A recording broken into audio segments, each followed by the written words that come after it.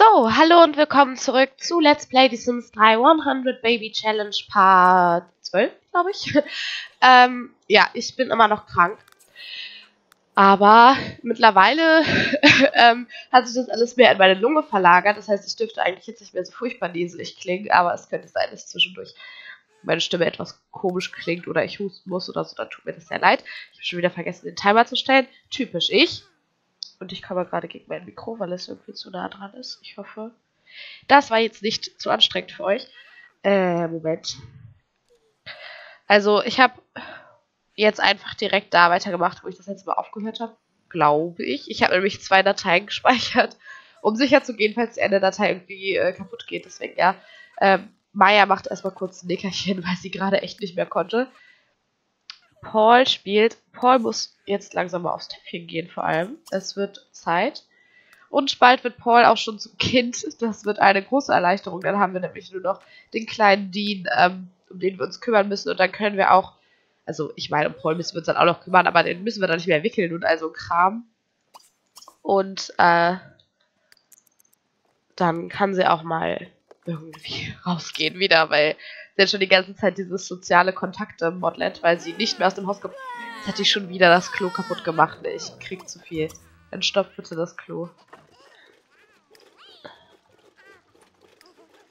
Dankeschön. Dann kannst du baden gehen. Und dann können wir uns auch schon bald äh, den Henk mal rüberrufen. In die Wie süß. Was machst du, Baby? Was machst du? Spielt in dem Dings.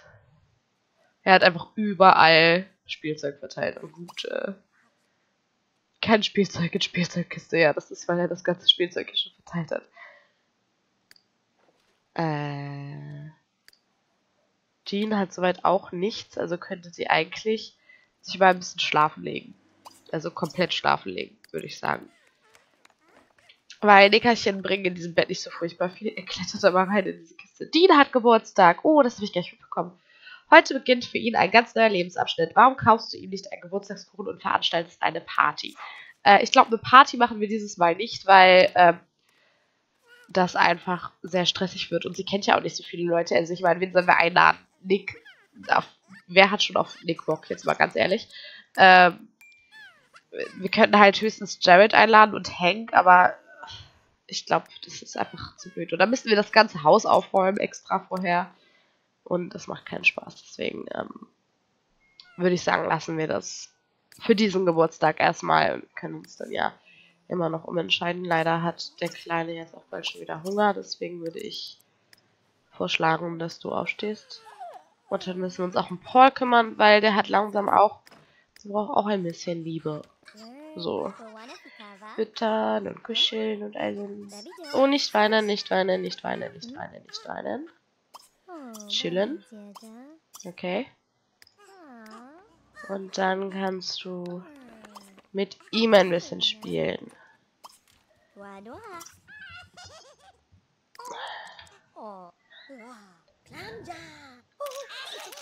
So süß.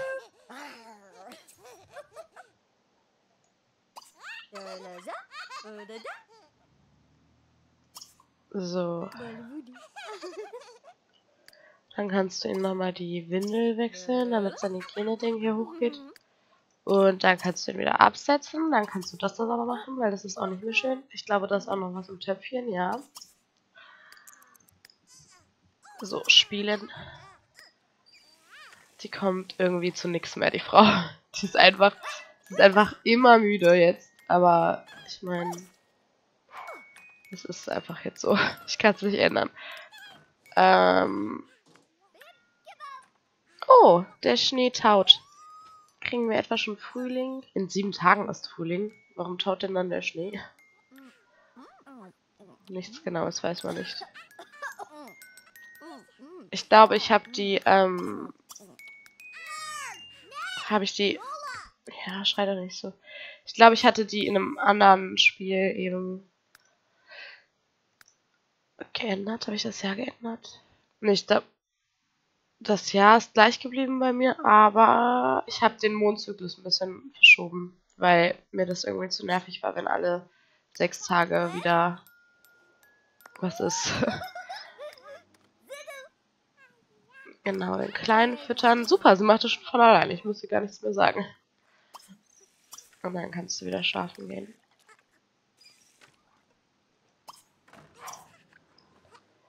Und dann gehst du aufs Täppchen. Und dann kannst du wieder ein bisschen spielen.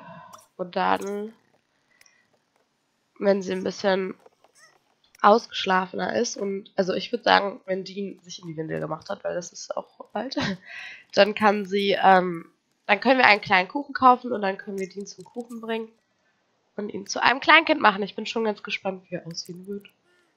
Okay. Es geht los, es geht los, es geht los, es geht los.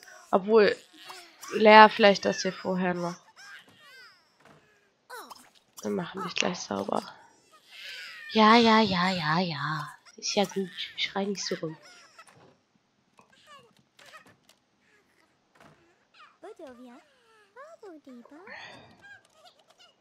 Ach so, bevor wir das machen, können wir den anderen kleinen Racker ins Bett legen. Dann muss ich nämlich immer darauf achten, dass der keinen Blödsinn macht. Oh, jetzt schreit der auch noch. Was ist denn los? Was ist denn hier los? Leg Paul ins Bett. Und da kaufen wir schon mal einen Kuchen. Kuchen, Kuchen, Kuchen.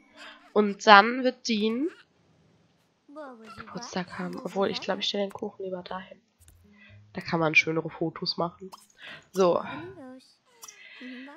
Dean Sunshine. Los geht's, los geht's, los geht's, los geht's. Oh, so aufregend. Er wird bestimmt rote Haare haben wie seine. Was machst du da? Wo schielst du hin? Hallo? Ähm. Maya. okay. Ja, tut mir leid, Dean. Deine Mutter ist leider besessen. Das wird wohl nichts mit dem Geburtstag. Maya, mach doch jetzt mal bitte. Jetzt habe ich schon wieder den entscheidenden Moment verpasst, weil ich vorgespult habe. Ich Dulli.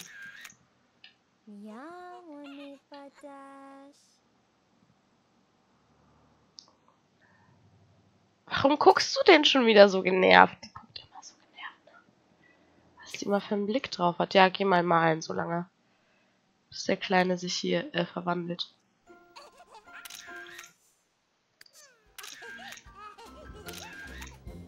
Ja! Dean ist ein Kleinkind. Uh, direkt, wir gehen direkt in den Stylisten, um zu gucken, wie er aussieht. Oh, ich bin so aufgeregt. Wie er wohl aussehen wird. Hi, Vivi. Oh, er hat so schöne Augen. So schöne Augen. Die Haare können wir eigentlich so lassen, oder? Also ich meine, er muss ja nicht genauso aussehen wie sein Bruder. Können ihm mal was anderes anziehen, weil das sieht mir irgendwie ein bisschen zu kalt aus. Wir haben ja gerade auch Winter. Deswegen, ähm, das ist mir auch alles zu kalt. Pulli. Wir ziehen ihm so einen Pulli an, oder? Oh, Pulli ist für drin vielleicht auch zu warm. Wir ziehen ihm das ja an, Mr. Nice Guy. Das ist süß. Und die Hose kann er anbehalten, aber er braucht Socken. Socken. So, zack. Haben wir auch rote? So, ne. Ich mag die weißen lieber. Okay, dann. Entschuldigung. Ich hoffe, ihr habt das nicht so laut gehört. Dann ähm, ziehe ich ihn nochmal eben. Obwohl, Armkleidung ist eigentlich egal, weil wir werden höchstwahrscheinlich mit den Kindern nicht auf eine Party gehen. Das ist zu kalt für einen Winterschlafanzug, meine Damen und Herren. So geht es nicht. Das ist schon besser. Schön warm. So, Badekleidung ist eigentlich auch wurscht, weil wir werden mit dem wahrscheinlich auch nicht baden gehen. Outdoor-Kleidung passt, okay. Gut. Dann sind wir eigentlich good to go, würde ich sagen. So, jetzt können wir ihn füttern. Wie er einfach schielt. Die schielen immer irgendwie nach ihrem Geburtstag. Ich weiß nicht warum, aber es ist so. Ja, komm, fütter ihn. Dann kannst du auf Toilette gehen. Und dann können wir vielleicht schon mal anfangen, ihm Sprechen beizubringen oder sowas? Laufen. Laufen ist auch gut. Bringen wir mal Laufen bei. Ein bisschen. Die Beziehung hochfahren. Warum hat sie schon wieder so schlechte Laune? Achso, weil hier überall Gesch äh, Geschenke, Spielzeug rumliegt wahrscheinlich. Das äh, tut mir leid, das kann ich jetzt gerade auch nicht ändern. So süß, so süß, so süß, so süß, so süß, so süß.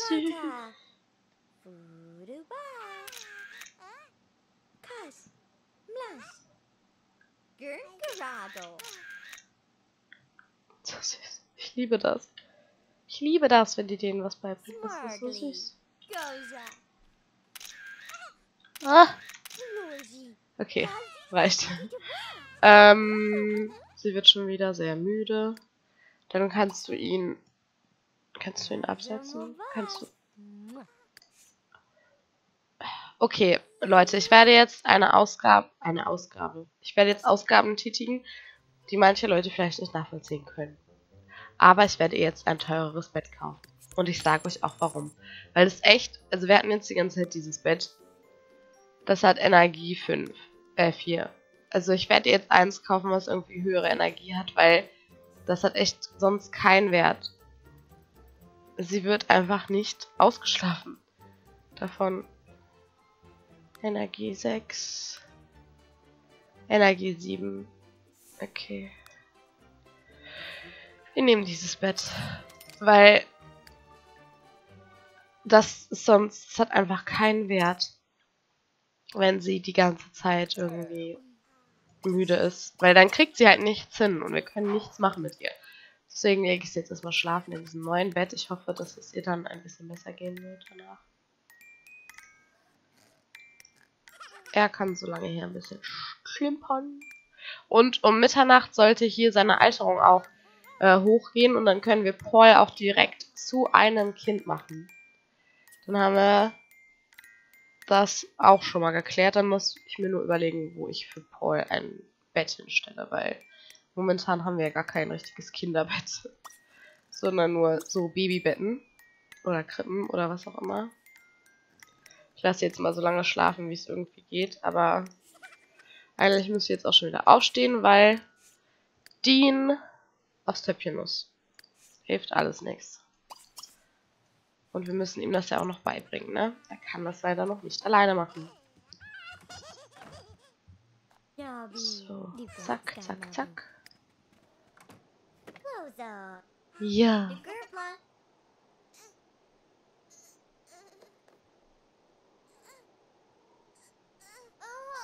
Wie lange das einfach immer dauert. Okay.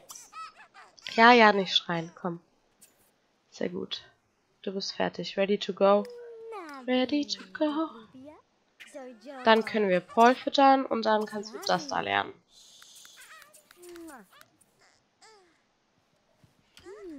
Dann wird es hoffentlich bald ein bisschen entspannter hier, wenn Paul erstmal ein Kind ist.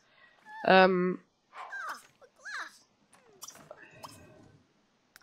und wir müssen uns auch recht, echt, recht, echt, wir müssen uns echt dran halten mit dem Kinderkriegen, weil sind ja immer noch kein Mädchen und wir brauchen auf jeden Fall mindestens ein Mädchen. Weil ohne Mädchen äh, könnten wir die Challenge verlieren. Und ich will nicht verlieren. Okay. Ich würde sprechen. Wir machen jetzt, machen wir ihn jetzt zum Kind oder erst im nächsten Part? Ich gucke mal, wie es mit dem Timer aussieht hier. Moment. Okay, wir haben noch drei Minuten. Ich mache das einfach jetzt an diesem Part. Weil, why not? Ach so, wir können diesen Kuchen in den Kühlschrank stellen. Und später noch was davon essen, weil von diesem Kuchen können die echt ewig essen und der stillt auch den Hunger bei denen ganz gut eigentlich. Und dann kannst du Paul zum Kuchen bringen. Und dann haben wir endlich hier ein Kind.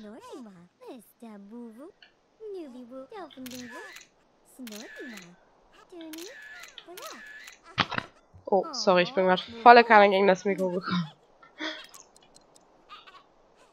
Ich vergesse manchmal, dass ich dieses Headset aufbaue. Hallo, kannst du wenigstens hier bleiben? und kurz ein bisschen zelebrieren. Zack. Das Krabbeln und auf den Hinter Hintern fallen liegen nun hinter Paul. Er ist endlich ein Kind. Zwar hat er jede Menge Arbeit und vor allem haufenweise Hausaufgaben vor sich, aber wenn Paul sich anstrengt und in der Schule schön fleißig ist, wird er das Leben schon gut, wird es das Leben schon gut mit ihm ein. Da du bei der Erziehung Höchstleistungen verbracht hast, darfst du nun wählen, welches Merkmal Paul weiterentwickeln soll. Leider dürfen wir das nicht wählen, weil das ist die 100 Baby Challenge und wir müssen wieder randomisieren, was ist mit seinem Gesicht. Oh mein Gott, bitte nicht. Familienbewusst. Oh, dann wird er sich bestimmt gut um seine Geschwister kümmern.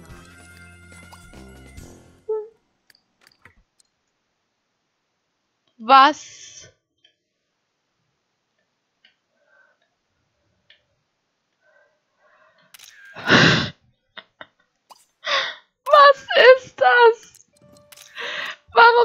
so aus? Oh mein Gott, nein. Paul, what happened? Er ist auch noch ein... Er ist dick. Aber das ist ja nicht so schlimm. Aber was ist mit seinem Gesicht passiert? Was ist mit seinem Gesicht passiert? Oh mein Gott. Ich. Ich bin vollkommen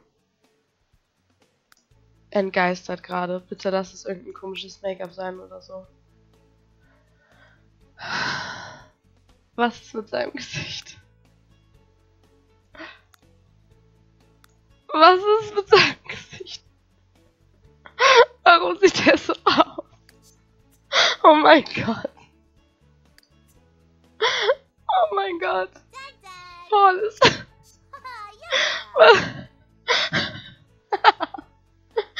oh nein. Oh Leute, ich schlag gerade drei Kreuze, dass das nicht unser Mädchen ist, ne? Mit dem wir die nächsten Kinder kriegen. Was?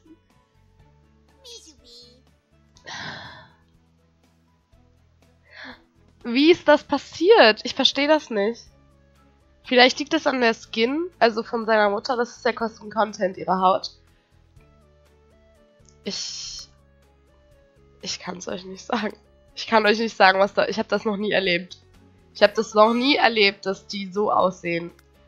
Ehrlich nicht. Also. What the fuck?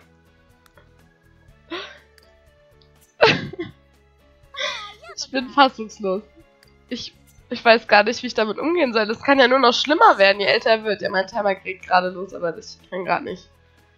Ich kann. Ich. Ich. Oh mein Gott. Ich verstehe das nicht. Weil es wären die Haare nicht schon schlimm genug, ne? Die er da von seinem Vater geerbt hat, aber... What's with the face? Das ist einfach nur furchtbar. Es ist so ein bisschen so ein kleiner Pummel, aber... Das ist halt... Das mit dem Pummel nicht, das kann ich ihm abtrainieren, aber das alles andere ist... Paul. Warum nur? Unser erstes Kind. Oh mein Gott, ich habe jetzt so Angst, dass die anderen Kinder hässlich werden. Wirklich. Ich habe jetzt richtig Angst.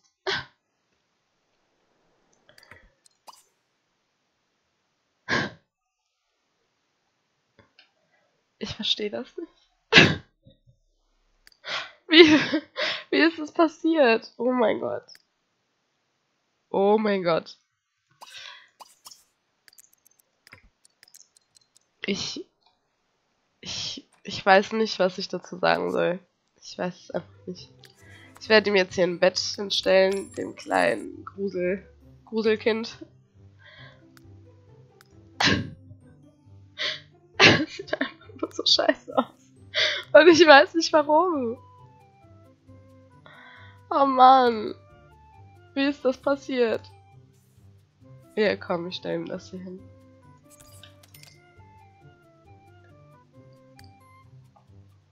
Wird zwar ein bisschen eng, aber naja. Ich hoffe, seine Mutter schreckt sich nicht, wenn sie morgens aufwacht und der da drin liegt. Okay, jetzt wird es langsam echt gemein. Ich höre auf. Kannst du das mal sauber machen, bitte, Paul? Jetzt haben wir endlich eine helfende Hand, die alles sauber machen kann. Eine nicht so schöne helfende Hand. Wirklich. Also, Leute, es ist so. Man kann ja auch Schönheits-OPs machen bei den Sims. Das gibt es ja mittlerweile. Allerdings, glaube ich, kann man das erst... Hallo, Gameplay, bitte häng dich jetzt nicht auf. Dankeschön. Okay. Ähm, allerdings kann man das erst, wenn die Teenager sind, glaube ich. Oder vielleicht auch erst, wenn die Erwachsene sind. Ich glaube erst bei Teenagern. Das heißt, sollte Paul als Teenager immer noch wie so ein Unfall aussehen, dann äh, können wir können wir das noch richten. Wenn, ähm, wenn er dann immer noch so aussieht. Ich weiß nicht, was das Spiel da gemacht hat. Ich bin entsetzt und ein bisschen belustigt. Äh, ja. Ähm, ich, ich beende diesen Part jetzt. Ich muss mich erstmal ein bisschen sammeln. Ich würde sagen, wir sehen uns dann im nächsten Part wieder. Ähm, ja. Bis dahin, macht's gut. Wenn euch das Video gefallen hat, gebt ihm gerne einen Daumen nach oben. Und falls ihr es noch nicht getan habt, würde ich mich sehr freuen, wenn ihr meinen Kanal abonniert. Schaut auch gerne mal auf meinem Hauptkanal vorbei. Vorbei, vorbei. Den äh, verlinke ich euch auch nochmal unten in der, in der Infobox. Jetzt kann ich schon nicht mehr sprechen, weil ich so fertig bin. Ja, komm, Nick. Die haben mir das alles so zu verdanken. Geh weg.